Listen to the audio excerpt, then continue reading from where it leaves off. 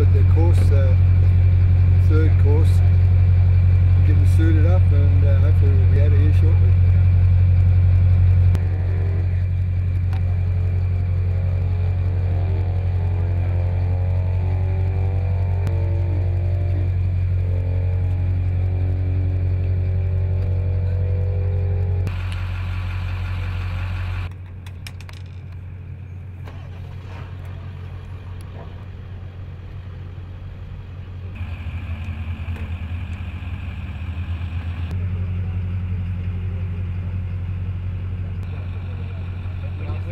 Finished, the tow vehicle and come back to the?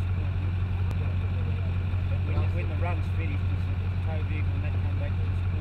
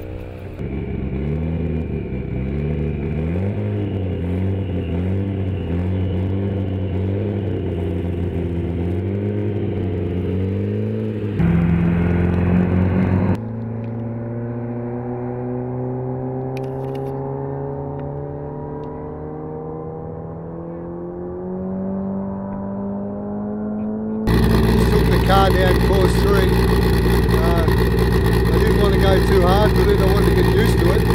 We set it. I, I tried to set it on 175. Ended up at 171, which wasn't too far off. And between the second and third mile, I got a big gust of side side wind. Crosswind hit me and threw me uh, sideways there for a while. But once I got through that, it was fine. I'm really confident with the car. The car feels great.